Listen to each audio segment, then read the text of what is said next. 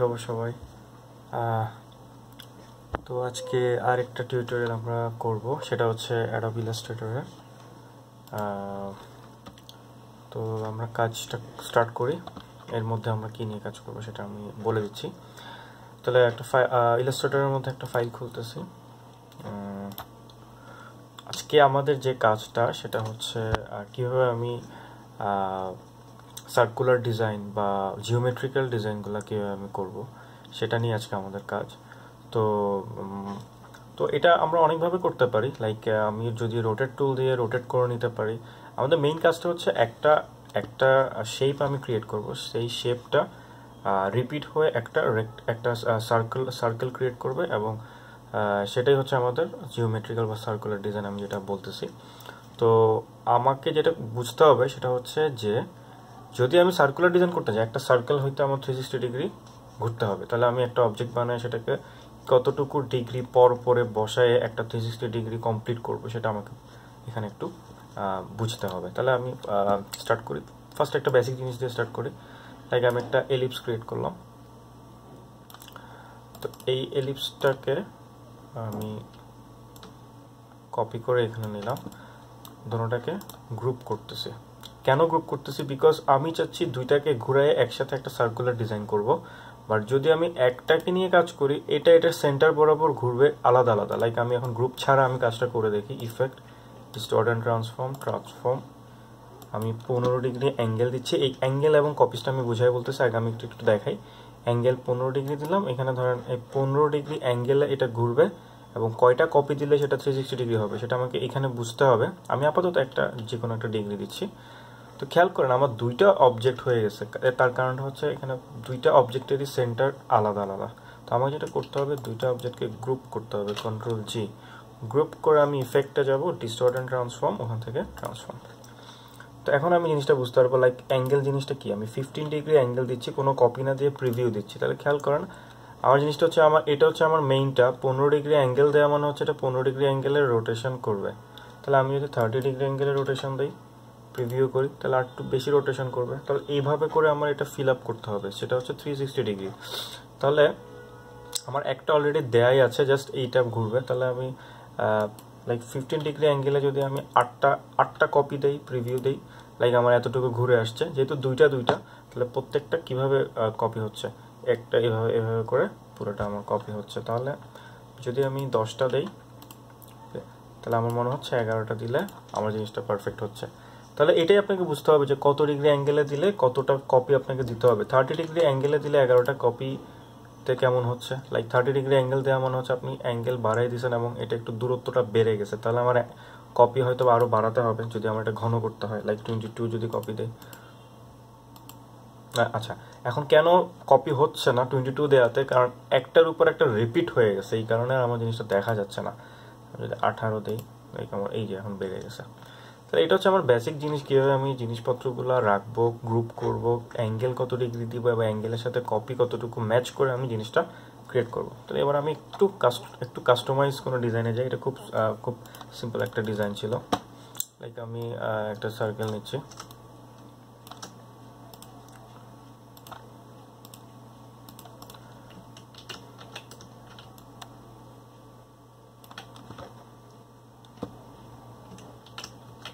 এখানে জাস্ট আমি just random একটা ডিজাইন ক্রিয়েট করতেছি, না কোনো স্পেশাল কিছু না। আমি জাস্ট এখানে পাথ ফাইন্ডার দিয়ে মাঝখানে জায়গাটা কাটলাম।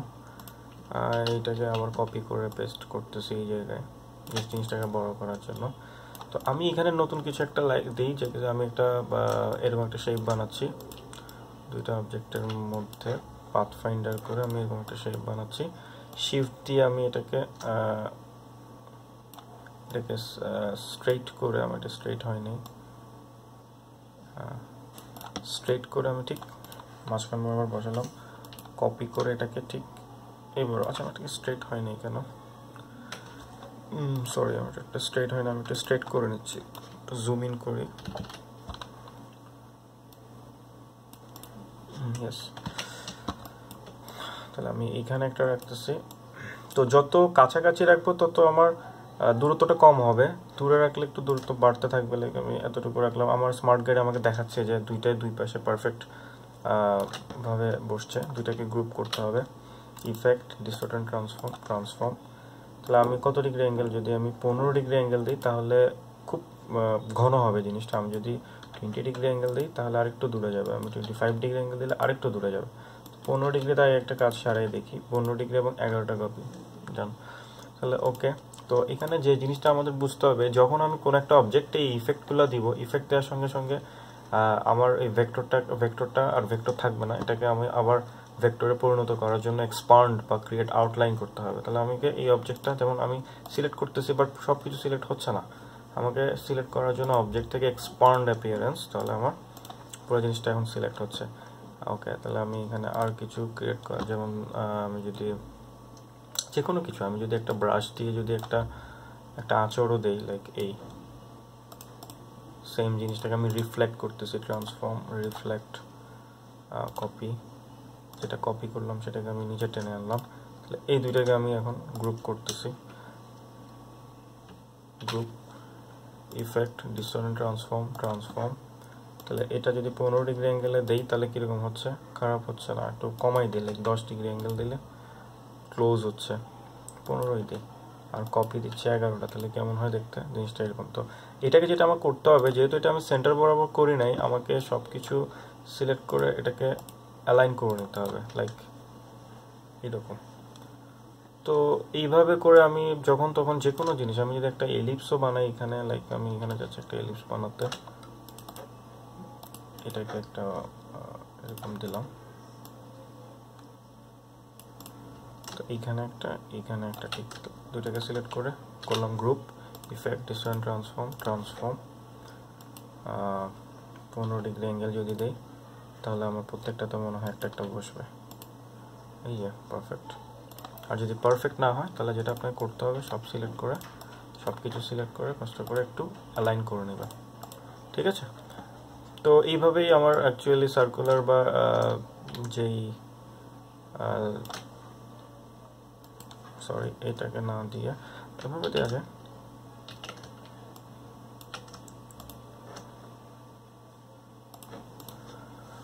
ওকে তো খুব ইজি এই জিনিসগুলো ক্রিয়েট করা। যে কোনো শেপ দিয়ে পারবেন আপনি যে কোনো শেপ লাইক আমি যদি একটা আমি যদি একটা পলিগন থেকে আমি একটু কেটে নিচ্ছি। আমি একটা এরকম শেপ নিলাম। এটাকে আমি কপি করলাম এই জায়গায় তোমাটাকে সিলেক্ট করে। ইফেক্ট সরি গ্রুপ করতাম group effect distort and transform transform fifteen degree angle দিচ্ছি ইলেভেন কপি দিচ্ছি। ওকে আমি স্ট্রোক কালারটা ফিল কালারটা অফ করে দেখেন, তাহলে দেখেন আমার একটা ডিজাইন ক্রিয়েট হয়ে গেছে। স্ট্রোকটা বাড়িয়ে দেন ব্যাস।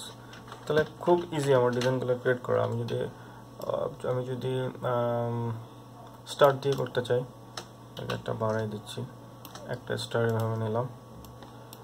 আর একটা স্টার এই জায়গায় নিলাম তোমরা সিলেক্ট করে করলাম গ্রুপ ইফেক্ট ট্রান্সফর্ম ট্রান্সফর্ম যদি আমি থার্টি ডিগ্রি অ্যাঙ্গেলে দিই পাঁচটা, এই যে একটা কমপ্লেক্স ডিজাইন হয়ে গেল বাট আমার এইটা করতে অনেক সময় যাবে যদি আমি ম্যানুয়ালি করতে চাই এবং পারফেক্ট না হওয়ারও সম্ভাবনা আছে। তো এই কাজটা শুধু এইভাবে না আরও আমাদের রোটের টুল দিয়ে করা সম্ভব বাট এইভাবে এইভাবে ইজি না বা পারফেক্ট আমার নাও হতে পারে। সো এই কারণে আমি জিনিসটা ইফেক্ট থেকে ডিসেন্ট ট্রান্সফর্ম ট্রান্সফর্ম থেকে করলাম। তো আশা করি বুঝতে পারছেন। তো করবেন, বাসায় ট্রাই করবেন। যদি কোনো ধরনের প্রবলেম ফেস করেন, অবশ্যই আমাকে জানাবেন। তো সবাই ডিজাইনগুলো করবেন আশা করি। ঠিক আছে, আজকের জন্য এতটুকুই। যদি ভিডিওটা ভালো লাগে, অবশ্যই শেয়ার করবেন। চ্যানেল সাবস্ক্রাইব করতে ভুলবেন না। ঠিক আছে তাহলে আজকের জন্য এতটুকুই কথা